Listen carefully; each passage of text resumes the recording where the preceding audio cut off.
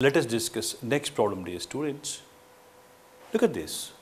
Let f of x is equal to 1, x less than or equal to minus 1, mod x if minus 1 less than x less than 1, 0 for x greater than or equal to 1, then f is option A 1 1, option B not differentiable at x is equal to minus 1, option C even function and option D always positive.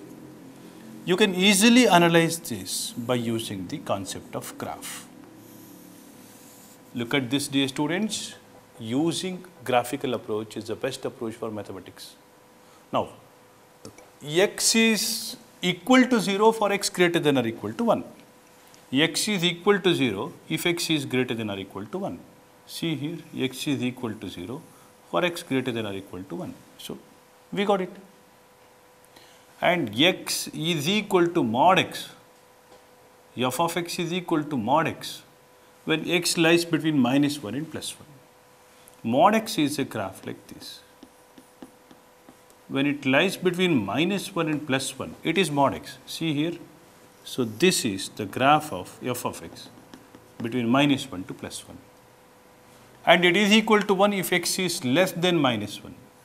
It is equal to 1. See it is equal to 1 if x is less than minus 1.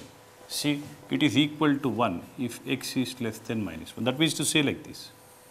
So, the graph is clearly like this. It is 1 for x less than minus 1, mod x if x is x lies between minus 1 and 1, 0 if x is greater than or equal to 1. Now, is it 1 1 is a question now. Definitely dear students, it is not at all 1 1 because if I draw a graph parallel to x axis, it meets the graph at more than one point. Therefore, option A is a false. That means to say it cannot be 1 1. Now, coming to the second part, not differentiable at x is equal to minus 1. Look at the graph of f of x dear students. The graph is like this, correct? It is definitely not differentiable at x is equal to minus 1, no doubt about it. But it is continuous at x is equal to minus 1. But it is discontinuous at x is equal to 1. It is discontinuous at x is equal to 1, continuous at x is equal to minus 1.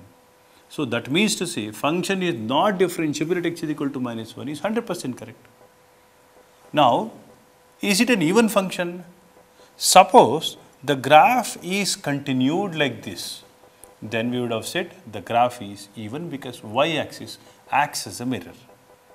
But as the graph is like this, it is not an even function and that does not mean it is an odd function. Not all non-even functions are odd functions. There is one more category that is called as neither, NENO category that is neither even nor odd category. Always positive, it looks like correct See here, this is positive, this is positive, this is positive, this is positive, but still I will put wrong mark to this. What is the reason? There is a clear difference between positive and non-negative. Positive means greater than 0, non-negative is including 0. If the question is given option D, sorry, it is printed as C, do not worry. So, if the in option D, if we had always non-negative, then I would have said yes, this is correct but it is positive. There is a difference between positive and non-negative. Therefore, option D is also false. Only option B is correct. See, how do you say it is not differentiable at x is equal to minus 1? Wherever you have a sharp edge in the graph, call that point as a non-differentiable point. Got it dear students? Yes. Please make a note of this. We shall go to next problem.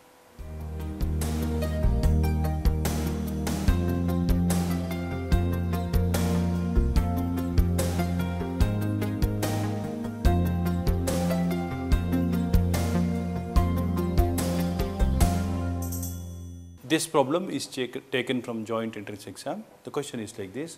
Limit x to 0, 1 minus cos 2x into 3 plus cos x divided by x tan 4x is option A 0.5, option B 1, option C 2 and option D is minus 0.25. Dear students, this is limit x tends to 0. Limit x tends to 0.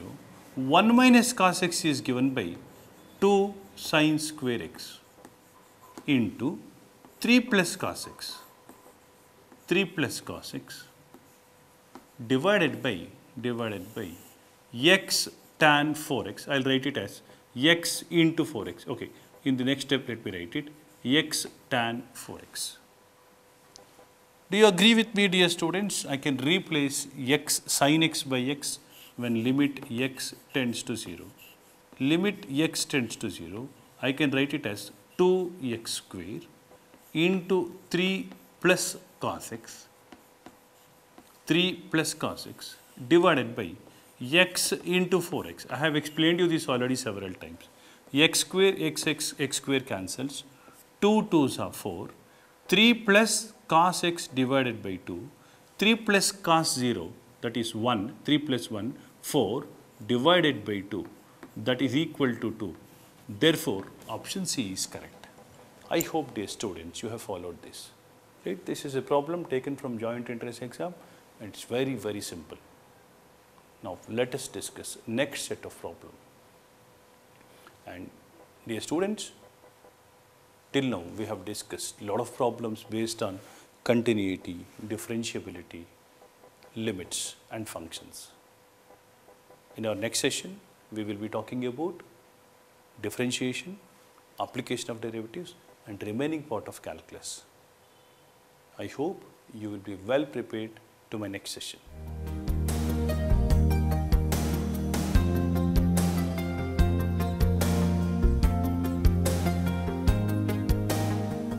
Dear students, welcome to Vikasana program. In today's session, we will be talking about first year algebra. In particular, we will be talking about two major topics that is quadratics, progressions, sequences and series. I know dear students, you have been studying quadratic equations since you joined your high school and you must be familiar with various formulae which are involved in progressions like arithmetic progression, geometric progression, harmonic progression. I hope you know the basics of harmonic mean, arithmetic mean and geometric mean.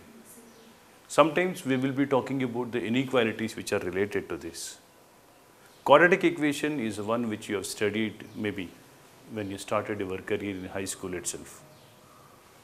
Hoping that you know the basics of this, we will be talking about different problems of JEE level and Karnataka CET level. Here, each and every problem, whatever we are going to discuss, will have a shortcut. Learn those shortcuts. Once again, I am repeating, you must not spend more than 20 to 25 seconds to solve a problem in quadratic or progression, even in complex numbers or any other topic which are related to algebra. Let us discuss one problem here. This is taken from your entrance exam. Look at the question. 7 times 7th term of an AP is equal to 11 times 11th term. Then 18th term is, dear students, if you look at this particular problem, you should have to use the standard method. What is the standard method?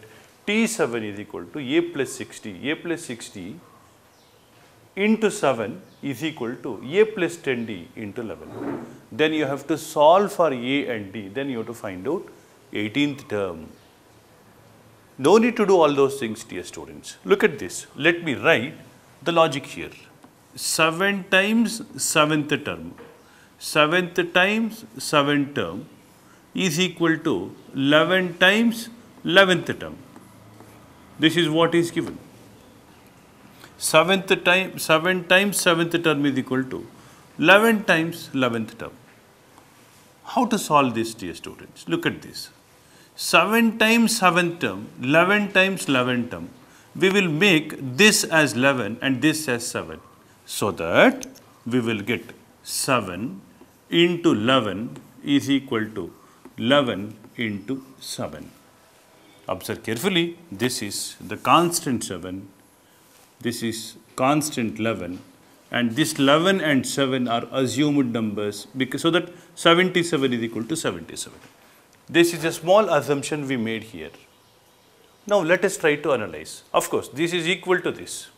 7 times 7th term is equal to 11 times 11th term. Right? 7th term is 11. Do you agree with me? 11, this is seventh term. Is that correct? Seventh term. Then we have 7 times 7 term is 11 times 11th term. What is 11th term now? 11th term is 7. Do you agree with me? 11th term is 7. This is 11th term. I hope you are understanding this. This is 7th term and this is 11th term. Right. Can you guess what is 8th term, 9th term and 10th term? 11, 10, 9, 8, 7. Do you agree with me?